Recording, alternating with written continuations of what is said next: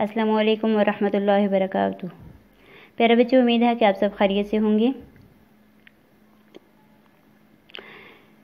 बच्चों, आज जो हम सबक पढ़ने जा रहे हैं वो है इबादत और दुआ।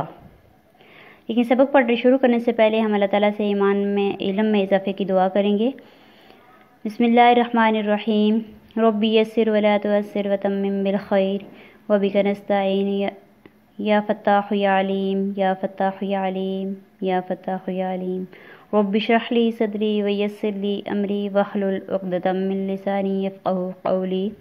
Rabbi ज़िदनी इल्मा rabbi ज़िदनी इल्मा rabbi ज़िदनी इल्मा। अल्लाह मेरे इल्म में इजाफ़ा फरमा।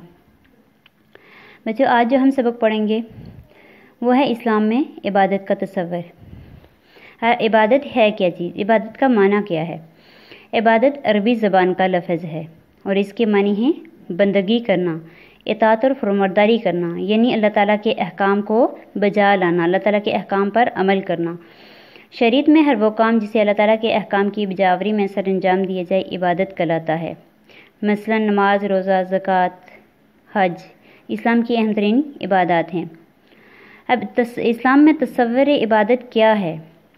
कि दुनिया के तमाम मज़ाहब जो थे, तमाम मज़हब में इबादत का कोई ना कोई तस्वर मौजूद है। यानी कि वो क्या करते थे? उनके लिए कोई मखसूस दिन होते थे, कोई मखसूस मौके होते थे जिन मौक़ों पर वो लोग इबादत करते थे। मसलन ईसाई जो थे, वो सिर्फ़ इतवार के दिन अपनी इबादत गाह, गिरजा कहते हैं इबादत गाह को, वो उनकी इबादत गाह थी तो वहाँ जाकर इबादत कर लेना ही काफ़ी समझते थे। इसके अलावा वो इबादत नहीं करते थे।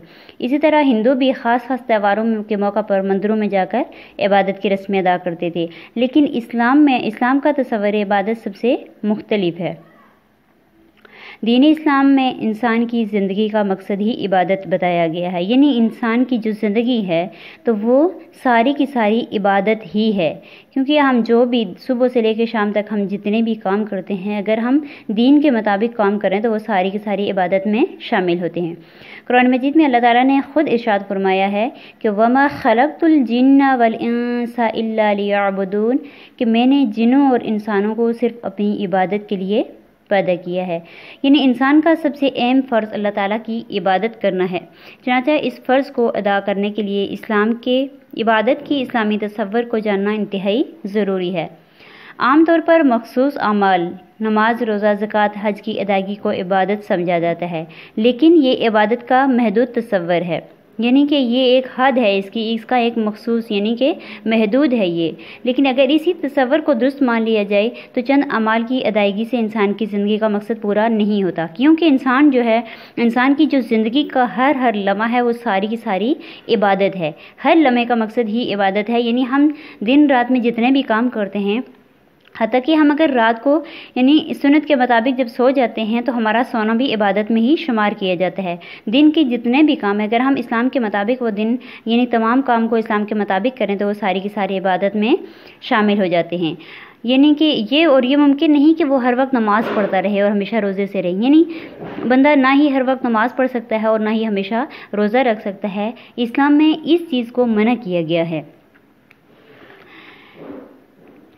इस बात का सबूत जो हज़रत उस्मान बिन माजून रज़ी ताला के एक वाक़े से मिलता है कि इनके बारे में नबी करीम सल्लल्लाहु अलैहि वसल्लम को मालूम मालूम हुआ कि वो शब रोज़ इबादत में मसरूफ़ रहते हैं। यानी वो दिन भर रोज़ा रखते हैं और रात भर नमाज़ पढ़ते हैं। इसके अलावा उनको कोई, किसी चीज़ से कोई वास्ता नहीं। तो आप को बहुत दुख हुआ। आप ने इन्हें बुलाकर पूछा कि, उस्मान, क्या क्या तुम मेरे तरीके से हट गए हो? तो उन्हें अर्ज़ किए कि, या रसोल्ला अल्लाह की कसम, मैं तो आपके तरीके का ही तलबगार हूँ। तो आप सलम ने उनको अर्ज़ किया कि मेरा तरीका तो ये है कि मैं रात को सोता भी हूँ और नमाज़ भी पढ़ता हूँ। यानी पूरी पूरी रात इबादत में नहीं गुजारता, बल्कि सोता भी हूँ और नमाज़ भी पढ़ता हूँ। कभी कभी नफली रोज़ा रखता भी हूँ और कभी छोड़ के दे, छोड़ भी देता हूँ। यानी हमेशा मैं रोज़ा नहीं रखता। आप सर ने हमेशा, यानी रमज़ान के अलावा हमेशा अपने रोज़ा नहीं रखा, बल्कि नफली रोज़े कभी रखते भी थे और कभी छोड़ भी देते थे। और आप ने फरमाया कि मैंने कहा भी करता हूँ उस्मान, अल्लाह से डरो, तुम्हारे अहलो अयाल, यानी तुम्हारे घर वालों का भी तुम पर हक है और तुम्हारे मेहमान का भी हक है, तुम्हारे जिसम का भी तुम पर हक है। कभी रोज़ा रखो और कभी छोड़ दो और रात को नमाज़ भी पढ़ो और आराम भी करो। यानी हर वक्त नमाज़ रोज़े में मशगूल रहना ही इबादत नहीं, बल्कि ज़िंदगी के तमाम कामों को अल्लाह ताला और इसके रसूल के अहकाम के मुताबिक ही सर अंजाम देना इबादत है। गोया के इंसान का सोना, जागना, खाना, पीना, पढ़ना, लिखना, रोज़ी कमाना, लोगों के हकूक पूरे करना, दूसरों के काम आना वगैरह, ये सारे के सारे इबादत में शामिल हैं। जबकि यानी कि इसमें शर्त ये होती है कि अल्लाह की ये सारे के सारे काम जो अल्लाह की रज़ा के लिए और इसके अहकाम को पूरा करने के लिए सर अंजाम दिए जाए, जो कि मैं आपको पहले बता चुकी। इंसान को चाहिए कि वो अपनी ज़िंदगी का हर लम्हा अल्लाह ताला की इबादत में गुजारे, ताकि इसके नतीजे में अल्लाह ताला के यहाँ कामयाबी, कामयाब करार पाए और जन्नत का हकदार बन जाए।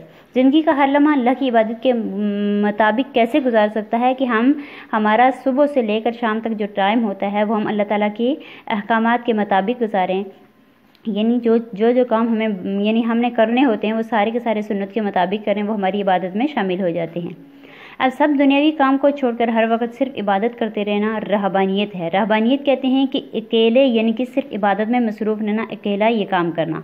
लेकिन ईसाइत में ईसाइत में इसे बहुत अफसल समझा जाता है, लेकिन इस्लाम में इसकी इजाज़त नहीं है। रहबानियत, यानी अलहदगी इख्तियार करने के बारे में अबसलम ने मना फरमाया कि ला रहबानियत फिल इस्लामी, कि इस्लाम इस्लाम में रहबानियत जायज़ नहीं है। अबसलम ने रहबानियत के बारे में मना फरमाया है।